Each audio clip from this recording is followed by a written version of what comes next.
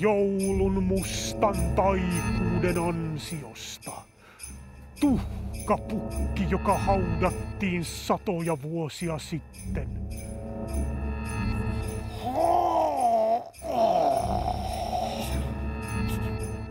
Hänen sydämensä sykkii yhä.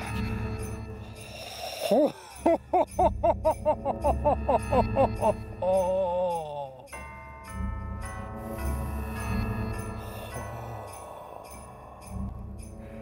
Pimeys, kylmyys ja kuolema, ne todella ovat joulun mustaa magiaa.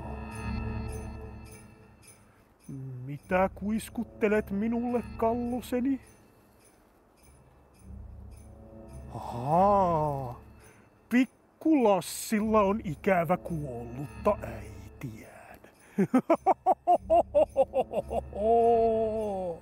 No, kun keskiyö koittaa jouluaattona, hänellä on yllätys odottamassa ikkunan takana.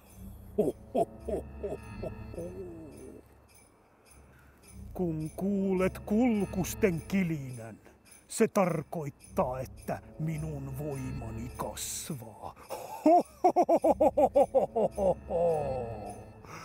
Ja jos kiltit lapset haluavat lisää synkkyyttä, raakuutta ja väkivaltaa joulun iltoihin pimeisiin.